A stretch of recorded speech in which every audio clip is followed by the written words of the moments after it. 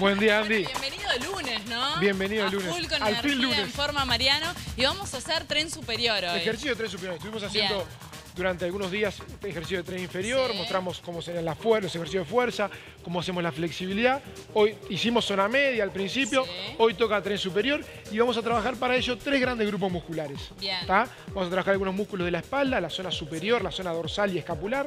Vamos a trabajar hombros deltoides laterales, que son estos de acá, ahí va, como grupo muscular. Vamos a trabajar pectorales también en la colchoneta con las famosas lagartijas o push-ups que todo el mundo conoce. Hoy es 100% práctico. 100% práctico, vamos a ir diciendo algunas bastantes correcciones que tienen que ver con la postura y que tienen que ver con por qué es importante justamente, sobre todo, trabajar los músculos de la espalda. Genial, dejo el micrófono y arrancamos. Ustedes Vamos. de sus casas también, ¿eh? Muy bien. Empiecen a, Lo ejercitarse.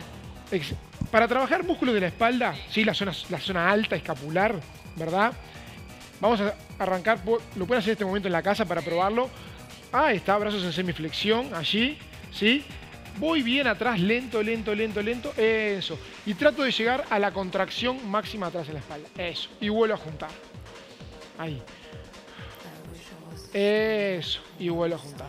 Eso es un ejercicio muy sencillo, muy fácil. Para alguien que nunca lo hizo, seguramente se hace dos series, tres series de 10 repeticiones, ya lo va a sentir al otro día, ¿verdad? Lo importante es que la gente pueda mantenerlo, hacerlo dos o tres veces en la semana y va a empezar a sentir como unas pequeñas contracturas en la espalda, que es que la musculatura se ejercitó y está trabajando.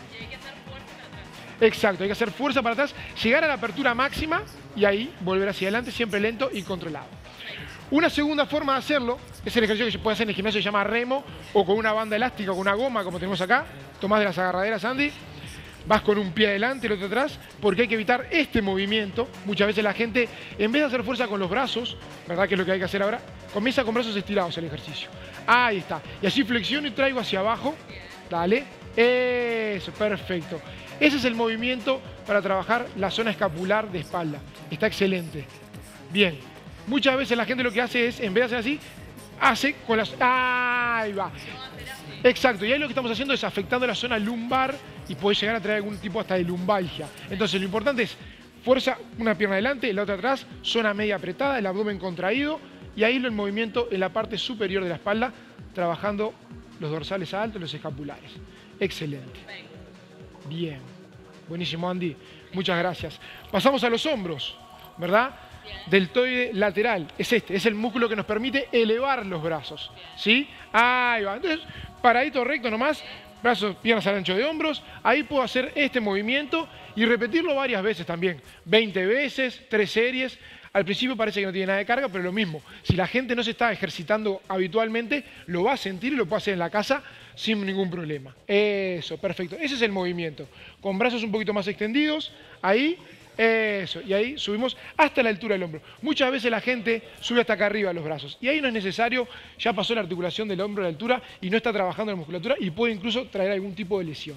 Entonces lo importante es hasta la altura del hombro allí, eso, perfecto, y mantengo para hacer un ejercicio un poco más exigente, más fuerte, allí lo que tenemos son mancuernas. Estas son mancuernas de 2 kilitos, no pesan nada. Vemos en el gimnasio sí que mucha gente trabaja con más, con más peso. Lo importante acá, Andy, es eso, el movimiento es el mismo. Rodillas flexionadas, zona media apretada y siempre lo fundamental, evitar ese movimiento que decimos que es de espalda, ¿verdad? Es un poquito más estirado los brazos, ahí va, apoyados casi sobre los muslos, ahí empieza el movimiento, eso, y voy hasta la altura de los hombros. Perfecto, perfecto. Ahí, eso está perfecto. Buenísima la postura, zona media apretada. Voy arriba, eso, ahí. Genial, espectacular.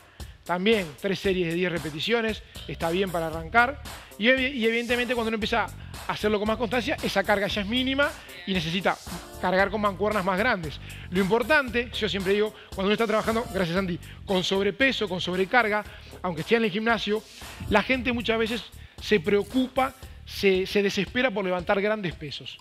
Y se cree que levantando mucho peso el efecto sobre el músculo es mejor, porque el músculo va a crecer, etcétera, etcétera, etcétera.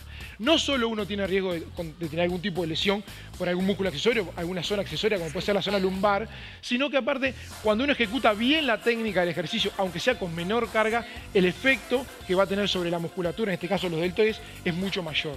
Un ejercicio bien hecho con la carga justa es mucho mejor el efecto es mejor, sea cual sea el objetivo que estén buscando. Hipertrofia, que el músculo crezca o la definición, siempre es mejor que un ejercicio mal hecho y con mayor peso. Y siempre eh, flexionado. Semiflexión, un poquito de flexión de rodillas para justamente apretando el abdomen poder eh, dejar esta zona fija y, evitar ese movimiento de ir hacia atrás. la espalda. Que es que seguro, cuando estamos trabajando con estos pesos, se controla sin ningún problema, parado, suelto, ahí lo controlo sin ningún problema. El tema es que cuando empiezo a cargar con algún peso mayor, ahí sí, muchas veces el músculo se cansa y la persona para seguir haciendo las repeticiones y lograr la cantidad de repeticiones que tiene que hacer, empieza a hacer movimientos accesorios que se llaman, que es ese vaivén con la espalda. O sea que arrancamos con pesas de un kilito o nada, o nada, o nada, o desde la casa Ahí está, tres series de 15 repeticiones, tres series de 20 repeticiones y con hombros lo mismo. Y concentrarse en los músculos que, concentrarse, que hay que trabajar está bueno, Tomarse un tiempo de pensar, estar, respirar bien, la respiración se exhala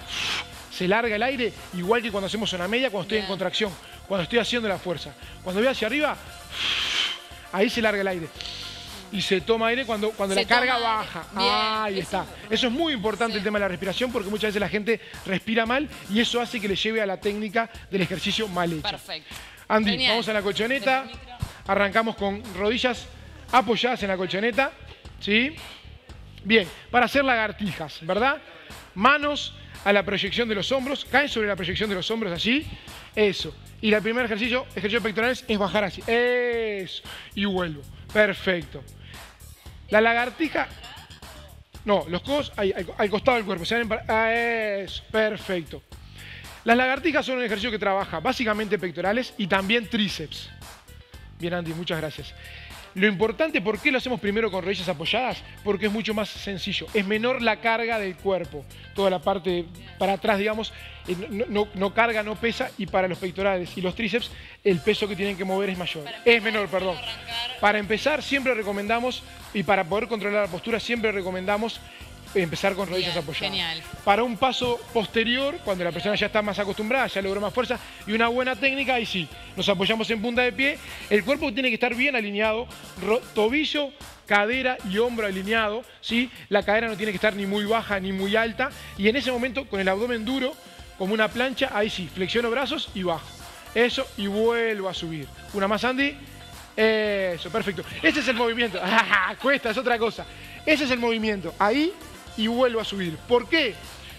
Si no también pasa lo mismo. Uno cuando se cansa empieza a bascular la pelvis. O, se, cae la cadera y queda acá abajo o queda muy arriba. Y esos dos momentos están mal. Entonces, lo importante es poder lograr la postura. Si no puedo hacerlo, digamos, con los puntas de pies apoyados únicamente, no hay problema. Empecemos un paso atrás, que es con rodillas. Que es con rodillas, ahí, ahí flexiono, voy abajo. Eso. Excelente. Y subo, eso es mucho más fácil.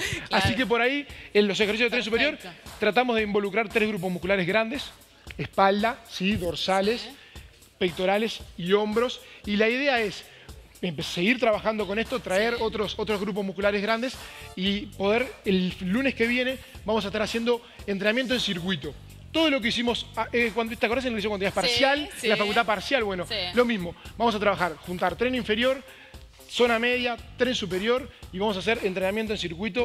Cómo de una manera fácil se puede armar un mini circuito en la casa y poder entrenar todo. Buenísimo. Ya me están preguntando en sus casas, que me han dicho, así que ya te lo pregunto a vos, Mariano.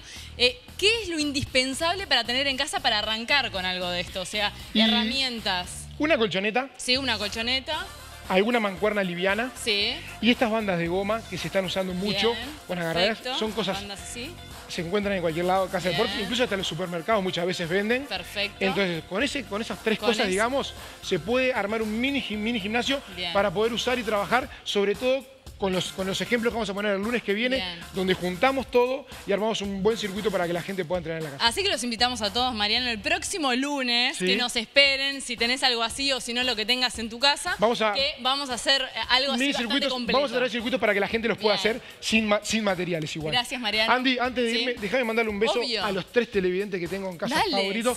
Martino, Delfina y Valentino, que miran todos los lunes, siempre son televidentes. Martino todos los lunes se levanta temprano para mirar el programa, así que un beso para ellos. Un beso para ellos entonces y con ¿Con qué seguimos? ¿Con Lu?